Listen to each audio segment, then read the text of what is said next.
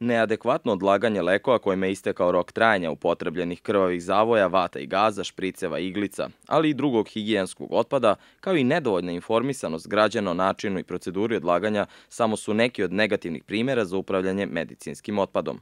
Upakujem u kutiji nekoj obično i u kanti za smeće odbacim. Naravno da sam upoznata, ali se ne odlaže to tako. Uglavnom se baci u smeće i, i tako završi na deponiji. Pa imam jednu rođaku koja je medicinska sestra i ja to njoj predam. Ona to tamo negde valjda razvrstava i odlaže, mislim, mislim da se to radi stručno.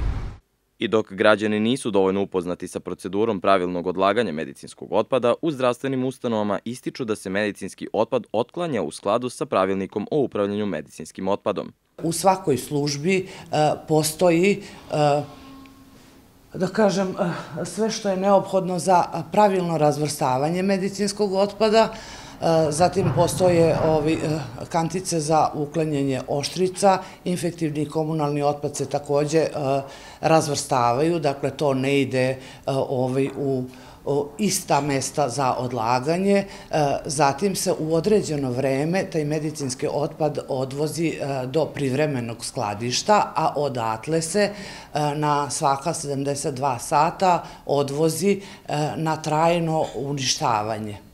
Prema pravilniku o upravljanju medicinskim otpadom koji je donet od strane Ministarstva energetike, razvoja i zaštite životne sredine 2010. godine, sterilisan i usitnjen otpad se razvrstava po kategorijama u atestirane kontejnere različite boje koji se zaključani odvoze na gradske deponije. Danas postoji samo sedam sanitarnih deponija na teritoriji Republike Srbije koje se vode kao regionalne, ali se samo oko 10% medicinskog otpada odlaže na njima.